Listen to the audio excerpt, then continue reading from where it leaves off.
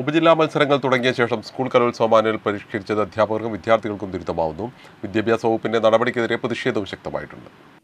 School കലോത്സവത്തിന്റെ ഉപജില്ലാ മത്സരങ്ങൾ തുടങ്ങിയ ശേഷമാണ് മാനുവൽ പരിഷ്കരണവുമായി വിദ്യാഭ്യാസ വകുപ്പ് രംഗത്തെത്തിയത്. പുതുതായി അഞ്ച് മത്സര ഇനങ്ങൾ ഉൾപ്പെടുത്തിയും പങ്കെടുക്കാവുന്ന ഇനങ്ങളുടെ നിയന്ത്രണങ്ങളിൽ സംസ്കൃതോത്സവവും അറബി സാഹിത്യോത്സവവും കൂട്ടിച്ചേർത്തുമാണ് പരിഷ്കരണം. രാത്രി എട്ടിന് ശേഷം വരുന്ന മത്സരഫലങ്ങളിൽ പിറ്റേ ദിവസം രാവിലെ പത്ത് വരെ അപ്പീൽ നൽകാം. അപ്പീൽ ഉത്തരവ് നൽകുമ്പോൾ കാര്യകാരണ സഹിതം നൽകേണ്ടതാണ്. ആവശ്യമെങ്കിൽ അപ്പീൽ നൽകിയ കുട്ടിയെ നേരിൽ കേൾക്കണം.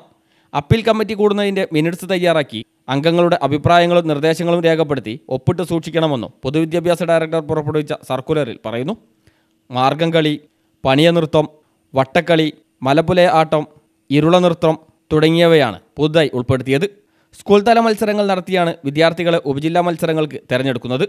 പലയിടങ്ങളിലും ഉപജില്ലാ മത്സരങ്ങൾ തുടങ്ങിയ ശേഷമാണ് വിദ്യാഭ്യാസ വകുപ്പ് മാനുവൽ പരിഷ്കരിച്ചത്. ഇത് കുട്ടികളെയും അധ്യാപകരെയും ഒരുപോലെ വലയ്ക്കും.